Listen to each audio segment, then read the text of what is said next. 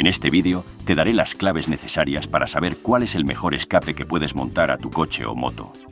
A menudo los fabricantes tienen que cumplir no solo emisiones y ruidos, sino también presupuestos, por lo que los escapes están limitados a ese marco, sacrificando en mayor o menor medida el rendimiento del motor. Y ahí es donde el propietario de cada vehículo decide si conviene invertir en un buen sistema de escape de alto rendimiento. Pero, ¿cómo tiene que ser?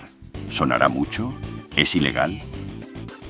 Para sacar el máximo rendimiento voy a explicar dos términos, la retención y el barrido. La retención es todo aquello que restrinja el flujo de los gases al exterior. A mayor retención, mayor pérdida de potencia, que se agrava a medida que aceleramos y subimos de vueltas. Una línea sin retención debería carecer de todo tipo de catalizadores y silenciadores que dispersan y ralentizan el flujo de los gases.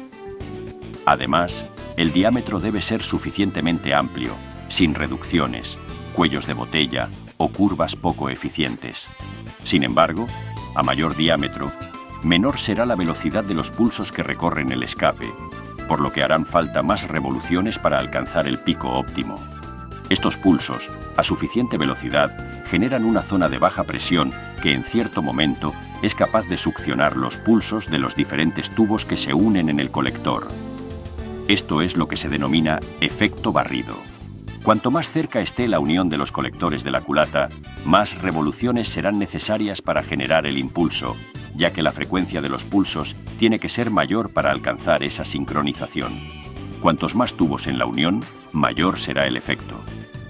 Es por eso que un colector 4 a 1 generará un impulso más fuerte que un 4-2-1, pero este último tiene la capacidad de tener un rango de sincronización más amplio, al jugar con dos uniones en diferentes distancias. En mi Kawasaki, el fabricante Racing Project Murashima diseñó un sistema específico 421 que compensa y mejora la línea de potencia, prometiendo una subida suave hasta pasadas las 11.000.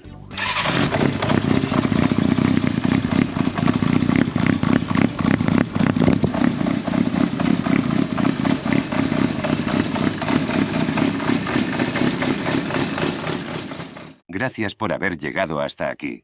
Te animo a que en los comentarios dejes cualquier duda que te haya surgido. Si te ha gustado, no olvides comentar, dejar un like y suscribirte.